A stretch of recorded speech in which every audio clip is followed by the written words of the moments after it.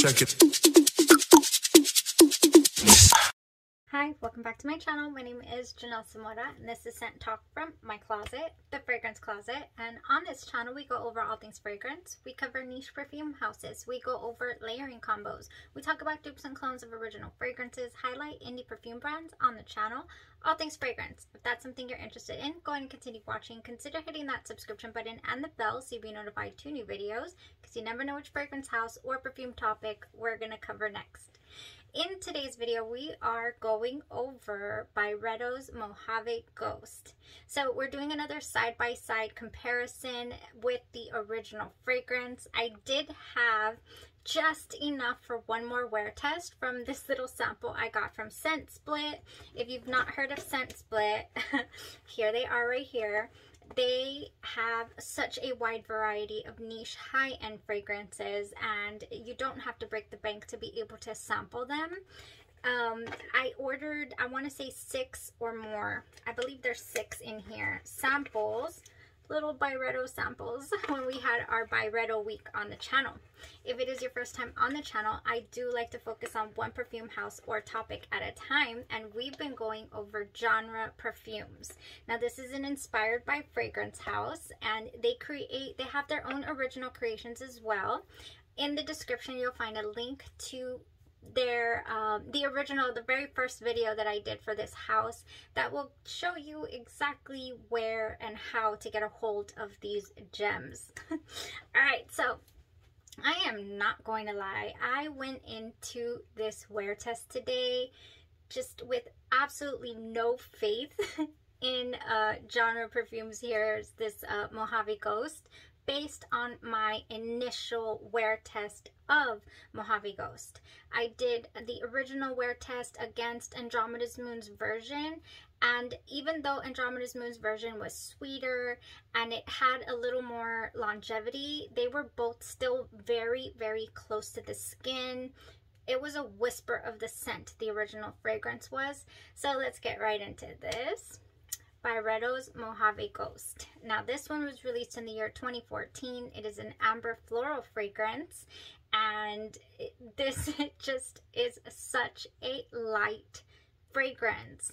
Um, the notes in here are sapodilla, ambrette, musk mallow. In the mid, we have magnolia, violet, and sandalwood. In the base, ambergris and cedar. Now, cedar, the cedar in here is a very soft, woody cedar.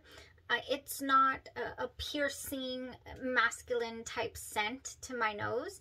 It's a very clean, um, you know, but without going the aquatic route either. It just smells so sweet right off the bat. When this opens up, it starts out just really, really light, like I'm saying, a, a whisper of a scent. um, you're almost like, what, did I spray it? Did I not? You know, did I miss? Uh, and then it just it starts to develop a little bit. You can smell the sapodilla in here, I feel, smells like um, like pears boiling with some cinnamon in there. It has a little bit of a cinnamon nuance, a cinnamon quality to it. Um, you know, just a cooked pear scent. Oh, but it's really, really light. Oh, I'm smelling something else. This is where I put the original fragrance on this side. I am smelling what I combined this with. Now, what did I combine this with? like I said, I didn't have much faith in this, so I went ahead and sprayed the original um, on this side. I did the genre perfumes on my left side. We are still here. This is has been wafting at me all day, the genre perfume side. And I went ahead and combined this. I did on my right side the with the original Mojave Ghost, the oil perfumery version. Now this one only goes a couple of hours as well but I felt, oh, maybe if I layer the oil, it'll it'll clasp onto this oil and uh, make it go a little longer. Um, well, I'm not sure if it was that or this.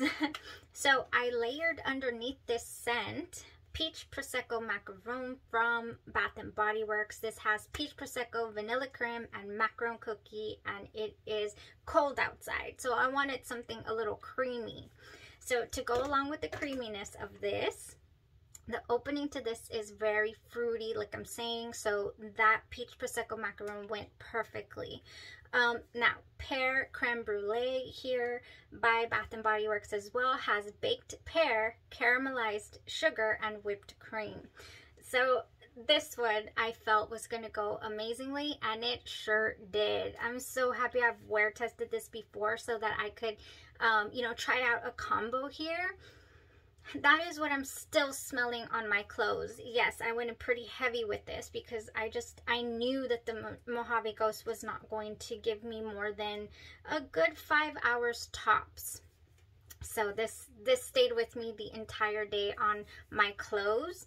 On the skin, I have a really light, I have a very light scent, um, you know, just of the whole little concoction going on here. But it did only go a good five hours. Now, on genre side, oh my gosh, I did not uh, go too heavy with this on this side because I wanted to pay attention to it. And sure enough, it, it I mean, I can still smell it, but that Byredo uh, inspiration here by genre Oh my gosh, the shadows were just here all day long. I could not be happier with this wear test because when I did the wear test for Mojave Ghost, I just fell in love with the scent of it. And I just was like, oh, I'm just so disappointed in the fact that this is such a skin scent that doesn't even give me enjoyability. You know, it doesn't give me a scent bubble. It, it, it just didn't. And so to have been able to experience it now you know, on a stronger level, oh yes, I am so, this is upsizable. I need a 50. I need a 50 ml here.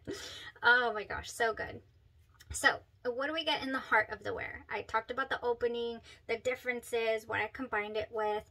In the heart of the wear, it is just the genre side anyways, very lively, very enjoyable um you know the sweet there's a sweet candied violet scent that i get from the original fragrance that i also get in the genre version um i will say that the genre version's violet candied scent is not as sweet as the andromeda's moon version that that we were tested before on the channel that one was really really candied violet sweet i mean just to my liking. I read that I prefer the sweetness.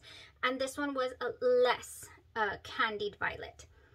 But it was still there. It was still sweet. It was still enjoyable. I mean, uh, that's a, that's a nice trade-off to be able to have your fragrance, um, you know, to be able to enjoy it now and leave a trail i believe i was leaving trails today i really do because it was really strong uh, you know i, I underestimated uh, this this fragrance because of my previous wear. Um, so the uh, soft woody tone in the dry down, the violet carries itself all the way down to the dry down.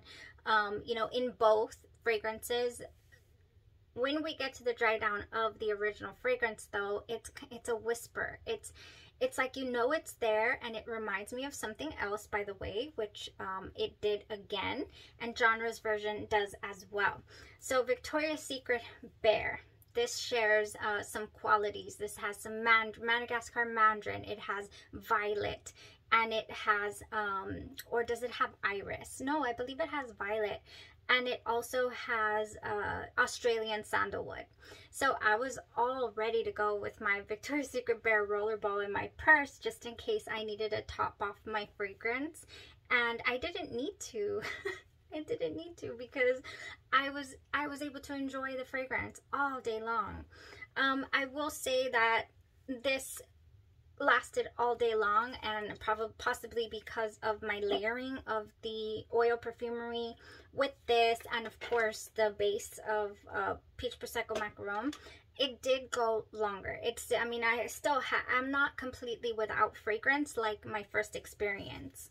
So the layering definitely did help but it didn't help you know project or give me uh, as big a scent bubble as the genres version did. Wow, I'm I'm blown away. I completely underestimated this. So this is called The Shadows by Genre Perfumes and they've done an amazing job with the way that it presents itself. It goes through all the stages that the original does and and and you can smell it I want to spray this everywhere. This is so, so nice. If you enjoy the scent of Byredo's Mojave Ghost, I 100% recommend Genre's Perfumes version. I mean, goodness, it's 12 hours and we're still here. Um, I just did, I was not expecting that. It, the shadows, I mean, just, they just lurked all day long very enjoyable. I loved the scent combo. It is really cold. I don't know if I've mentioned so. I I wanted um I knew that this was a lighter floral fruity scent, so I wanted something that was gonna that had some cream in it, you know, and and that definitely worked. So very very good job. good job. It was a very beautiful scent day. Totally enjoyed it. Um, I want to do more of this definitely on the channel, which is um, combine things together and do wear tests of, of fragrances that I've already worn so I could put my thoughts and layering combos to the test for you guys because um, that that's important. I can i can just sit here you know and think of things that would go great with this or that but uh, to actually experience them uh, for you guys to also let you guys know what does not go so well because i've had some fails in the past would also be helpful i feel. And and um and yeah keep us here in this closet talking about scents I went on. I absolutely loved this, you guys. Just a beautiful fragrant day. I love fragrant days like this.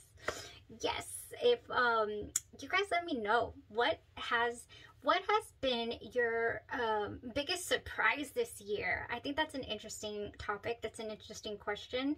Um, this is not my only one. I would probably have to think about it, uh, but this was definitely up there with, hey, no, you know, completely underestimated this. um, oh, you know, Kilian's Woman in Gold by Genre Perfumes as well kind of got me like, whoa, I did not know I was going to enjoy that that much, uh, which was called Virgo.